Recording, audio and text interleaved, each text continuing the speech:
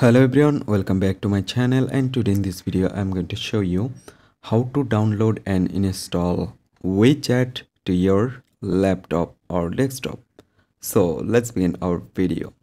So first of all what you need to do you just need to connect the internet to your laptop and then go to taskbar and here you can see this is Microsoft Store. Open on it.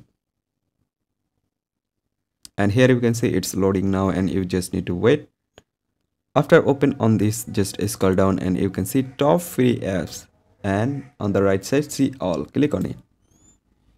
Right now scroll down. And here you can see this is uh, WeChat if you can open here or if you don't find here just go to search bar and type WeChat and then you can see this is WeChat open on it okay after open on it you can see on the left side there have an option install. Uh, you just need to click this option.